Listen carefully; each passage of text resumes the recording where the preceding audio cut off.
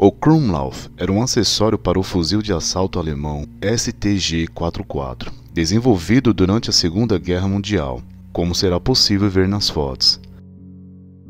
Esse alargador curvado permitia atirar em um inimigo na esquina desde um lugar seguro para não disparar às cegas, incluía ademais um visor periscópio. Foram fabricadas duas variantes do Krumlauf, o I, empregado pela infantaria, e também o P, que era usado dentro dos tanques para poder atirar nos ângulos cegos durante o assédio de tropas de infantaria inimiga. Assim mesmo, existiam versões com dobras com ângulos de 30, 45, 60 e 90 graus.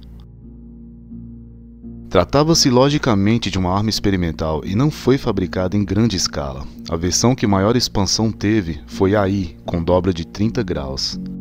Esse acessório tinha uma vida útil muito curta, somente 300 tiros para a versão de 30 e 160 disparos para a de 45 graus.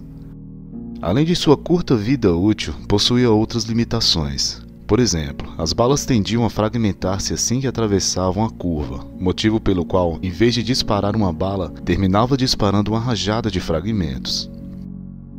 Para minimizar o risco de explosão por acumulação de gases, incluía duas aberturas laterais que atuavam como válvulas de escape.